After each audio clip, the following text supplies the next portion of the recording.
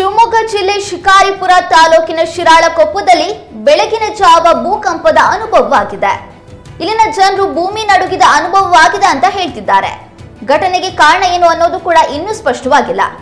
ಗ್ರಾಮಸ್ಥರ ಪ್ರಕಾರ ಬೆಳಗಿನ ಜಾವ ಮೂರು ಐವತ್ತರಿಂದ ನಾಲ್ಕು ಗಂಟೆವರೆಗೂ ಭೂಮಿ ನಡುಗಿದ ಅನುಭವವಾಗಿದೆ. ದೊಡ್ಡ ಮಟ್ಟದ ಶಬ್ದದೊಂದಿಗೆ ಭೂಮಿ ನಡುಗಿದ ಅನುಭವವಾಗಿದ್ದು ಮನೆಗೆ ಮನೆಯ ಗೋಡೆಗಳು ಹಂಚುಗಳು ಕೂಡ ಅಲುಗಾಡಿವೆ.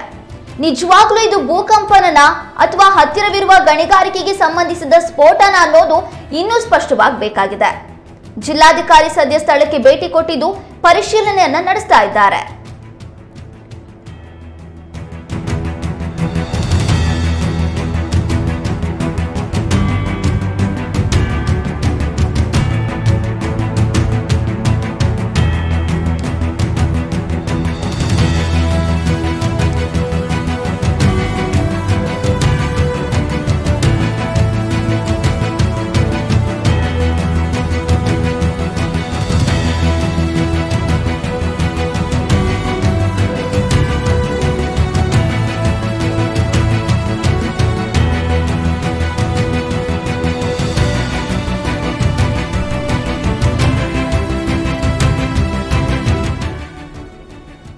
ಇದೀಗ ಈ ಕುರಿತಂತೆ ಹೆಚ್ಚಿನ ಮಾಹಿತಿ ನೀಡಲು ನಮ್ಮ ವಾಹಿನಿಯ ಪ್ರಧಾನ ಸಂಪಾದಕರಾದ ಹೊನ್ನಾಳಿ ಚಂದ್ರಶೇಖರ್ ಅವರು ದೂರವಾಣಿ ಸಂಪರ್ಕದಲ್ಲಿದ್ದಾರೆ.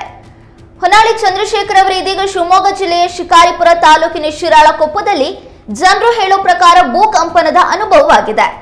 ನಿಜಕ್ಕೂ ಇದು ಭೂಕಂಪನನ ಅಥವಾ ಬೇರೆ ಏನೋ ಅನ್ನೋದ್ರ ಬಗ್ಗೆ ಅಧಿಕಾರಿಗಳು ಏನಾದರೂ ಮಾಹಿತಿ ಕೊಟ್ಟಿದ್ದಾರಾ?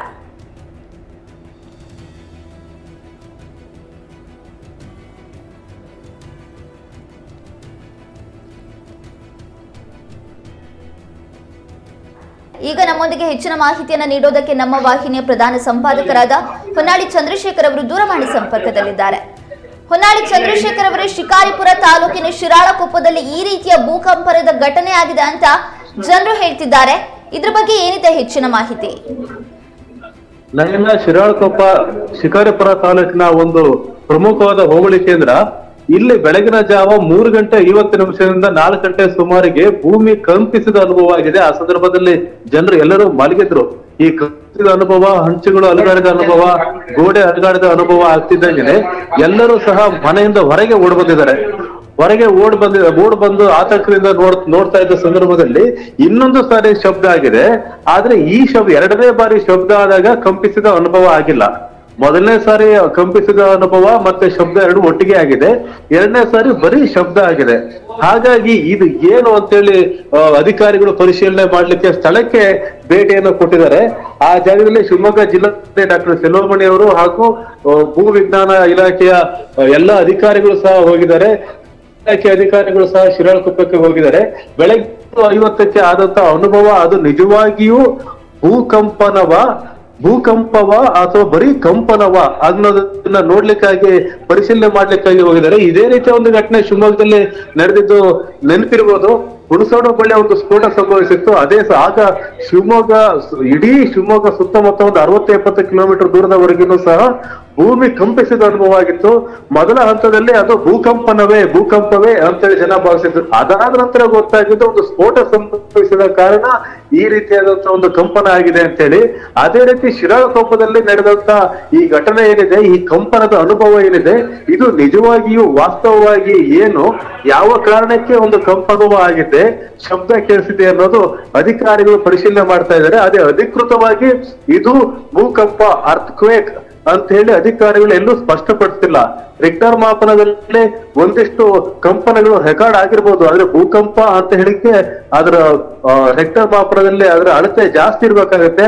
ಆ ಹಂತದಲ್ಲ ಬಹಳ ಸ್ವಲ್ಪ ಮಟ್ಟಿಗಿನ ಕಂಪನ ಆಗಿದೆ. ಇದು ಯಾವುದು ಅಂತ ಸ್ಪಷ್ಟ ಆಗ್ಲಿಕ್ಕೆ ಇನ್ನೂ ಸಮಯ ಬೇಕಾಗಿದೆ ನೈಲ ಓಕೆ ಈ ಒಂದು ಕಂಪನ ಅಥವಾ ಭೂಕಂಪನದಿಂದ ಏನಾದ್ರೂ ಹಾನಿಗಳು ಸಂಭವಿಸಿದ್ಯಾ ಆ ಭಾಗದಲ್ಲಿ? ಹಾನಿಗಳ ಸಂಭವ ಏನೂ ಇಲ್ಲ. ಕಂಪನದ ಅನುಭವ ಆಗಿದೆ, ಜನ ಎಲ್ಲ ಮನೆಯಿಂದ ಹೊರಗೆ ಓಡ್ ಬಂದಿದ್ದಾರೆ. ಹಂಚುಗಳು ಅಲುಗಾಡದಂತ ಅನುಭವ ಆಗಿದೆ, ಮನೆಯಲ್ಲಿದ್ದಂತ ಪಾತ್ರಗಳು ಅಲುಗಾಡದಂತ ಅನುಭವ ಆಗಿದೆ. ಹಾಗಾಗಿ ಹಾನಿ ಏನು ಸಂಭವಿಸಿಲ್ಲ, ಗೋಡೆಗಳು ಬಿದ್ದಿರೋದಾಗ್ಲಿ, ಯಾರಿಗೂ ಯಾರಿಗಾದ್ರೂ ಗಾಯ, ಪೆಟ್ಟು ಆಗಿರೋದಾಗ್ಲಿ, ಆ ತರದ್ ಯಾವ್ದು ನಡೆದಿಲ್ಲ. ಒಂದು ಕಂಪನದ ಅನುಭವ ಮಾತ್ರ ಅಲ್ಲಿ ಆಗಿದೆ. ಎಲ್ಲಿ ಯಾವುದೇ ಹಾನಿ, ಜೀವ ಹಾನಿ ಆಗ್ಲಿ, ಬೇರೆ ಯಾವುದೇ ಸಂಭವಿಸಿಲ್ಲ. ಯಾಕಂದ್ರೆ ಇದು ಅಂತ ತೀವ್ರವಾದ ಕಂಪನ ಏನಲ್ಲ ಇದು. ಬಹಳ ಸ್ವಲ್ಪ ಪ್ರಮಾಣದ ಕಂಪನ ಒಂದು ಸಾರಿ ಮಾತ್ರ ಆಗಿದೆ. ಹಾಗಾಗಿ ಯಾವುದೇ ಹಾನಿಯ ವರದಿ ಇನ್ನೂ ಆಗಿಲ್ಲ. ನೈನಾ. ಅಧಿಕಾರಿಗಳೇನಾದ್ರೂ ಇದ್ರ ಬಗ್ಗೆ ಮಾಹಿತಿ ಕೊಟ್ರ? ಅಧಿಕಾರಿಗಳು ಸ್ಥಳಕ್ಕೆ ಹೋಗಿ ಪರಿಶೀಲನೆ ಮಾಡ್ತಾ ಇದ್ರೆ ಜಿಲ್ಲಾಧಿಕಾರಿ ಡಾಕ್ಟರ್ ಬೆಳಗ್ಗಿನ ವಿಷಯ ಗೊತ್ತಾದ ತಕ್ಷಣ ಅವರು ಶಿರಾಳಕೊಪ್ಪಕ್ಕೆ ಹೋಗಿದ್ದಾರೆ. ಬೇರೆ ಬೇರೆ ಇಲಾಖೆಯ ಅಧಿಕಾರಿಗಳು ಸಹ ಅದಕ್ಕೆ ಅಲ್ಲಿಗೆ ಹೋಗಿದ್ದಾರೆ. ಗಣಿ ಮತ್ತು ಭೂ ವಿಜ್ಞಾನ ಇಲಾಖೆಯ ಅಧಿಕಾರಿಗಳು ಸಹ ಸ್ಥಳಕ್ಕೆ ಆಜ ನೋಡಿ ಪರಿಶೀಲನೆ ಮಾಡ್ತಾ ಇದ್ದಾರೆ. ಕಂದಾಯ ಇಲಾಖೆ ಅಧಿಕಾರಿಗಳು ಸಹ ಅಲ್ಲಿದ್ದಾರೆ. ಶಿಕಾರಿಪುರ ತಹಸೀಲ್ದಾರ್ ಹಾಗೂ ಬೇರೆ ಬೇರೆ ಅಧಿಕಾರಿಗಳು ಅಲ್ಲಿದ್ದಾರೆ. ಅಲ್ಲಿ ಪರಿಶೀಲನೆ ಮಾಡ್ತಿದ್ದಾರೆ. ಎಲ್ಲರ ಅನುಭವವನ್ನ ಕೇಳ್ತಾ ಇದ್ದಾರೆ. ನಿಜವಾದ ಕಾರಣ ಏನು ಅಂತ ಹೇಳಿ ಬೆಂಗಳೂರಿನ ಮೀಟ್ರಾಲಜಿಕಲ್ ಡಿಪಾರ್ಟ್ಮೆಂಟ್ ಸಹ ಮಾಹಿತಿಯನ್ನು ಕೊಟ್ಟಿದ್ದಾರೆ. ಆದ್ರೆ ಇನ್ನು ವರದಿಗೆ ಅವರು ನಿರೀಕ್ಷೆ ಮಾಡ್ತಾ ಇದ್ದಾರೆ.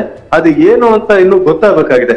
ಅಧಿಕಾರಿಗಳು ಈಗ ಸ್ಥಳದಲ್ಲಿ ಎಲ್ಲ ಸಾರ್ವಜನಿಕರು ಹಾಗೂ ಇವರನ್ನೆಲ್ಲ ವಿಚಾರಣೆ ಮಾಡ್ತಾ ಇದ್ದು ಅವರು ಅನುಭವನ ಕೇಳ್ತಾ ಇದ್ದಾರೆ. ನಿಜವಾಗ್ಲೂ ವಾಸ್ತವವಾಗಿ ನಡೆದಿದ್ದೇನು ಅನ್ನೋದನ್ನ ಇನ್ನು ಪರಿಶೀಲನೆ ಹಂತದಲ್ಲೇ ಇದೆ. Naina okay okay. ನಿಮ್ಮೆಲ್ಲ ಮಾಹಿತಿಗಾಗಿ ಧನ್ಯವಾದಗಳು ಹೊನ್ನಾಳಿ ಚಂದ್ರಶೇಖರ್ ಅವರು.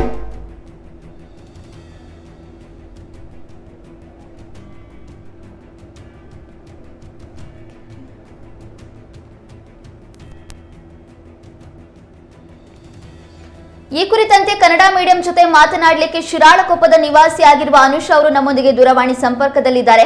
ಅಲ್ಲಿ ಏನಾಯ್ತು ಅನ್ನೋದನ್ನ ಅವ್ರ ಹತ್ರಲ್ಲೇ ಕೇಳಿ ತಿಳ್ಕೊಳ್ಳೋಣ ನಮಸ್ಕಾರ ಅನುಷ್ ಅವರೇ.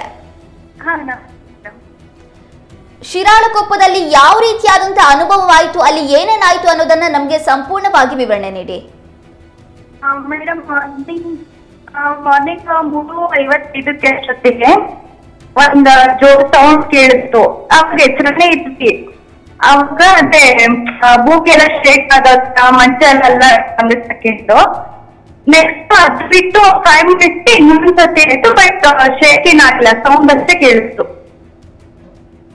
ಓಕೆ ಮನೆಯಲ್ಲಿರುವಂತ ವಸ್ತುಗಳು ಕಂಪನವಾಗದಂತ ಅನುಭವ ಏನಾದ್ರೂ ಆಯ್ತಾ ನಿಮ್ಗೆ? ಹೌದು ಹೌದು ಮೇಡಮ್ ಹೌದು.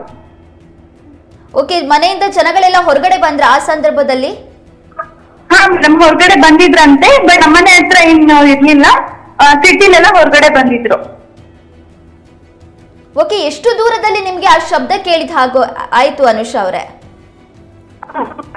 ನೆನ್ಪಿಲ್ಲ ಮೇಡಮ್ ಬೆಳಗ್ಗೆ ಬಟ್ ದೂರದಲ್ಲಿ ಜೋರ ಸೌಂಡ್ ಕೇಳಿಸ್ತು ಡಮ್ ಅಂತ. ಅದೇ ಅವಾಗ ಎಲ್ಲ ಶೇಕ್ ಆದಂಗ ಆಯ್ತು. ಓಕೆ ಯಾವ ಅಲ್ಲಿ ಈ ರೀತಿಯಾದಂತ ಒಂದು ಘಟನೆ ಸಂಭವಿಸ್ತು? ಮಾರ್ನಿಂಗ್ ತ್ರೀ ಫಿಫ್ಟಿ ಫೈವ್ಗೆ ಆ ನಿಮ್ಮ ಒಂದು ಮನೆಯ ಸುತ್ತಮುತ್ತಲಿನ ಪ್ರದೇಶಗಳಲ್ಲಿ ಗಣಿಗಾರಿಕೆಗಳು ಏನಾದ್ರೂ ಇದೆಯಾ? ಇಲ್ಲ ಮೇಡಮ್ ಆತರದ್ದು ಯಾವುದೇ ಇಲ್ಲ. ಹಾ ಇಲ್ಲ ಇಲ್ಲ ಮೇಡಮ್ ಈ ಹಿಂದೆ ಯಾವತ್ತಾದ್ರೂ ಈ ರೀತಿಯಾದಂತ ಘಟನೆ ಸಂಭವಿಸಿತ್ತಾ? ಇಲ್ಲ ಮೇಡಮ್ ಇದೇ first time okay Kannada medium ಜೊತೆ ಮಾತನಾಡಿದ್ದಕ್ಕಾಗಿ ಧನ್ಯವಾದಗಳು Anusha. Okay madam thank you